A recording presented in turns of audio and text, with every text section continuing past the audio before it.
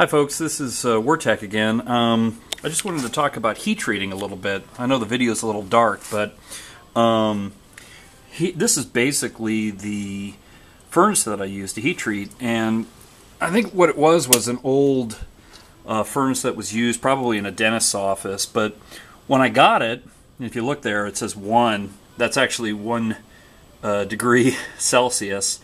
Um, it, the problem with it, what, I purchased it, it didn't have a working thermometer and the controls were kind of messed up. So what I did is I bought it cheap on eBay and replaced some of the components. And so one of the components is this uh, uh, controller right here, and they're not too expensive. Um, the way you work this is um, you simply uh, buy yourself a controller, a thing called a uh, solid state relay, and that just turns it on and off. If you see there's a little green light that's flashing. This thing's programmed to, to raise its temperature up to uh, 25 degrees uh, centigrade, and so it's actually pulsing uh, the power on and off to make the, the uh, furnace work. And so you have three components for this a controller, a solid state relay, that's a switch that goes on and off, and a thermocouple. And so inside this, and it might be a little difficult to see, in the back there is a, a thermocouple, and it, it's really impossible to see, but it's basically um, a thermometer for it. And so, pull back here a little bit. But the dimensions of this furnace aren't that big. I've got a little sh uh, shelf system I can pull out and put pieces in diagonally. But um, this is about it. And so you can purchase these furnaces for not too much money if they're broken and then fix them yourself. And uh, I can certainly answer any questions about um, how to how to do that in more detail uh, online. But um, this is how I heat treat, and so um, I've got at least an example or a few examples here of a rock that I've treated, and let's see if we can get a better view.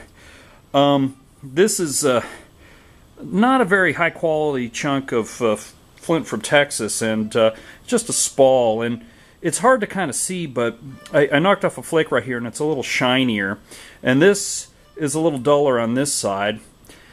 Um, the reason for that is because when you heat treat um, cryptocrystalline rock, what you're actually doing is removing water from it. And that might sound a little strange, but uh, uh, cryptocrystalline rock is really just very, very tiny crystals of uh, quartz that are fused together as an aggregate. And so when you remove water, it puts the whole piece under a little bit of tension and it literally forms more bonds, chemical bonds to each other. And so when you hit it, there's a more effective use of force. It runs, you know, each grain is connected to another grain in a in a stronger manner. And so when you hit it, the the flakes tend to travel farther. But the interesting thing is when you look at the material, and it is you can see it's a little shinier here. The reason for that is, and it's duller on this side because this is before I baked it, is because if you look under an electron microscope, what you find out is that the individual grains on this side, uh, more often than not, or, or, more often, what happens is the flake that runs through it, the scar or the um, the break, goes right through the crystal, and so it makes a flat uh, surface that reflects light better. Um, on this side, what happens is sometimes as it's the flake is running across, it'll go around a crystal, and that produces basically like a little jagged peak that reflects light in different directions, and so it appears duller. Another interesting thing about some of these rocks is that, especially for the darker colored ones, if you have like a, a black flint, oftentimes you'll find um, fool's gold in it. Little tiny crystals of fool's gold.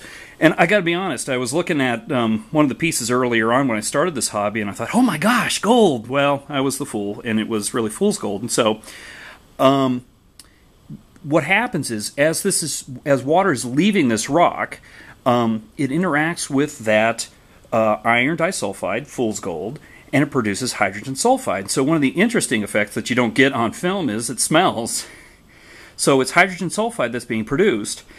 And that provides kind of an interesting, and I haven't seen this in the literature anywhere, um, scientific literature that is, where anybody really talks about heat treating and the production of volatile gases. Now, if this, if a rock was treated, you know, seventy thousand years ago, would you expect to uh, see any hydrogen sulfide left in it? Well, that's hard to say. Um, and in terms of a a uh, analysis, it would be somewhat destructive. And I, I suspect any artifacts you wouldn't want to um, uh, put them through too destructive a, an analysis. But it would be kind of interesting to see if any volatile gases come off of uh, an artifact that people suspect of being heat treated. Um, but anyway, if you don't heat treat it, I've uh, percussioned rock that's uh, clearly got fool's gold in it.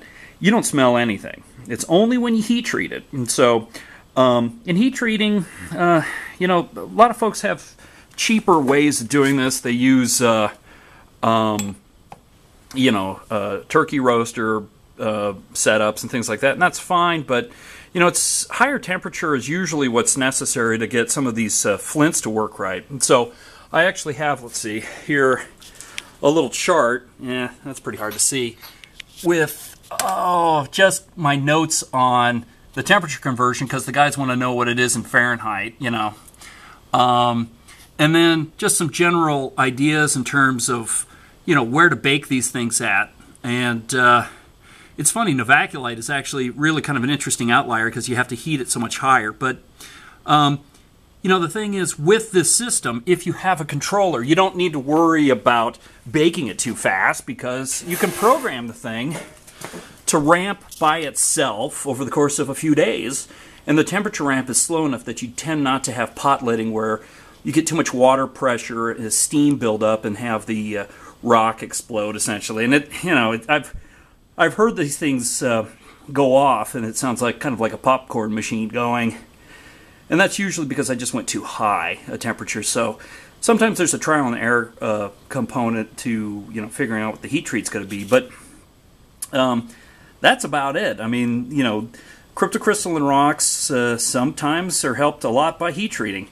Um, I've never really seen much improvement with obsidian. I know people talk about it, but for the most part, cherts, flints, uh, jaspers, cryptocrystalline rocks in general, I seem to have uh, some luck with uh, you know some heat treat improvement. Doesn't always work, especially if the material is very grainy.